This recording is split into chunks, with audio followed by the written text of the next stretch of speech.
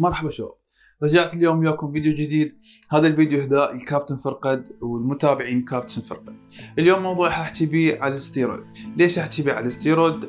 ما حد ما ينكر من عندنا 90% من اللي يوقفون على ال stage يستخدمون الستيرويد هذا الفيديو هدفنا تثقيفي لا دار وجود هرمون ولا غيره لأن ما حاحكي لا ب dose ولا حاحكي أقول لك استخدم هالشيء واستخدم هالشيء الغرض منه تثقيفي ونثقف الناس على قد ما نقدر. مثل ما قلنا ما حد ما ينكر إنه 90% من, من الناس اللي توقف على الستيج تستخدم منشطات وما حد ما ينكر إنه ناس هواية استخدمت المنشطات ودهورت حالتهم الصحية.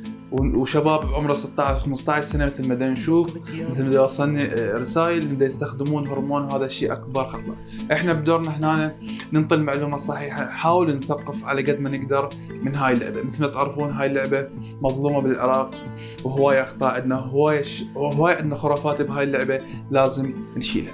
اليوم مثل ما قلنا موضوعنا على الاستيرويد بس هذا الفيديو للناس اللي تريد تستخ... الناس اللي عفوا اللي تريد تنزل بطولات مو الشخص الطبيعي. أول شيء لازم تعرف هدفك إذا كان هدفك بطولة في انه وهاي اللعبة أصلا هي حتجبرك تستخدم إذا كان هدفك بطولة وتنافس. لأن مستحيل تنافس ويا ناس مو طبيعيين وأنت شخص طبيعي. بس إذا كان هدفك من كل همك تسوي لك جسم مرتب فابتعد عن هذا الطريق. خلي تركيزك على التغذية والتمرين. هذا شيء كلش كافي توصل أكثر ما تتوقع أنت. والشغله الثانية لازم تعرف إن جسمك يستحق أن تستخدم لو ما استخدمت. مثل مو هسه جاي ثلاثة أشهر ست أشهر أو سنة وتريد تستخدم. لازم تكون تغذيتك سليمة 100% يعني تقعد الصبح أنت ماكل تليفونك عم تاكل تحضر وجباتك مال يوم كامل وجباتك وياك وين ما تروح بالإضافة إنه يكون تمرينك ملتزم ب 100% بذاك الوقت وبالإضافة إنه تكون نسبة دهون جسمك قليلة بذاك الوقت أنت حتستحق تستخدم إذا كان هدفك بطولة. ليش نركز على التغذية؟ الناس اللي ما تعرفة إنه عبالهم الاستيرويد مشتقات التستوستيرون صنعوه هو البناء العضلي. بس التستوستيرون صنعوه الغرض منه كان إنه عدم قدرة الجسم آه، إفراز هرمون التستوستيرون طبيعي. فصنعوا هذا الهرمون على أساس يسدون احتياج الجسم من التستوستيرون. بس بعدين عرفوا إنه هذا الهرمون يزيد من إنتاج النيتروجين داخل العضلة. بالعامية إنه هذا الهرمون يسحب بروتين أكثر للعضلة واللي حيصير عندنا استشفاء أكثر استشفاء أسرع عفوا وبناء أكبر للعضله مثل ما قلت إنه يسحب بروتين أكثر للعضله يعني غذائك مو تمام الهرمون ما حيسوي لك شيء لو تاخذ محيط كامل من الهرمونات والشغله الثالثه اللي لازم تعرفها قبل ما تفوت بهذا الدرب؟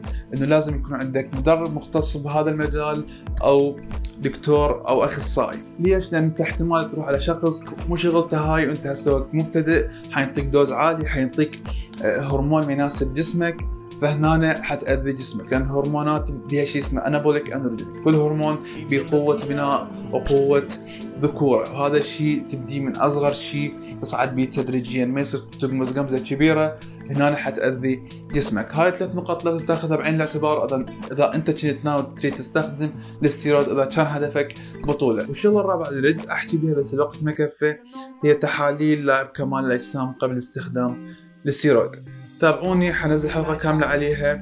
حأحكي لك تحليل تحليل والسبب وتحاليل اللي حتسويها. اثناء cycle الهرمون على مود تحافظ على صحتك طول فترة الاستخدام. أتمنى عجبكم الفيديو. لا تنسون تشتركون بالقناة.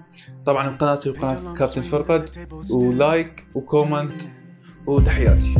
Sunlight bleeds stone from morning, the morning's calling, the tears dry silently.